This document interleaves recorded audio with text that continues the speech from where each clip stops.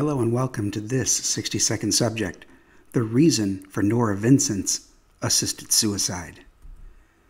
Norah Mary Vincent was an American writer. She was a weekly columnist for the Los Angeles Times and a quarterly columnist on politics and culture for the national gay and lesbian news magazine, The Advocate.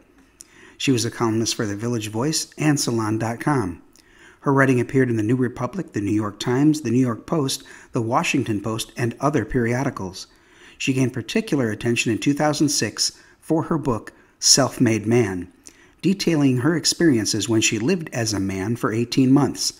The experience led Vincent to have a nervous breakdown, and she fell into a deep depression.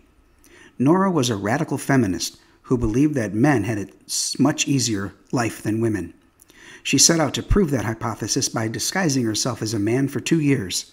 In her book about the experience, she explains that she actually learned that men have it harder. In fact, the experience was so bad, she had to stop at 18 months because she was starting to hate women due to how badly the women treated her when they thought she was a man.